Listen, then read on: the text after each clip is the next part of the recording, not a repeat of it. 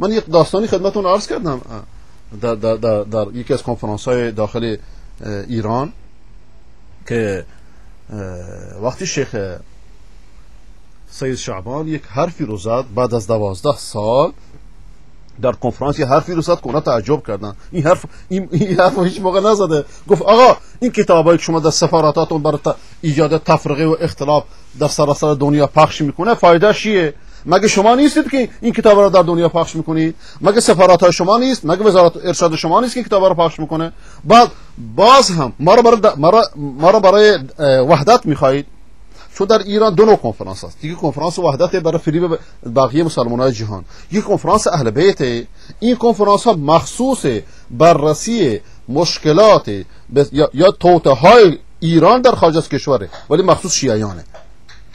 و این توته این توته ها رو بنده بارها عرض کردم در نقشه پنجاه ساله ایران. هشت سال پیش منتشر کردم و, و, و ببینید که الان عینهو همونش داره رخ میده.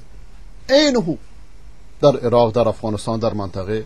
دقت می‌کنید اینا اینا پشت یعنی فراماسوری به اصطلاح ولایت باز هیچی کمتر از فراماسوری صهیونیسم نیستش. چون این هر دوتاشون دو چهره یک سکن برای کسانی که دنبال این عقاید میرن. این ظاهر اختلاف و شیعه سنی این همه اینا همش پوسته. اصل مطلب خیلی عمیق‌تر از اینه. ولی خب من نمی‌خوام عقل سرتون زیاد درد بیارم. کسی رو که نمی‌دونی چی کار می‌کنه ببین کردارش چیه. ببین اعمالش چیه. اما اعمال چیه؟ و روز قیامت هر کسی با اون کسی محشور خواهد شد. المرء من من احب که اونو دوست داشته باشه.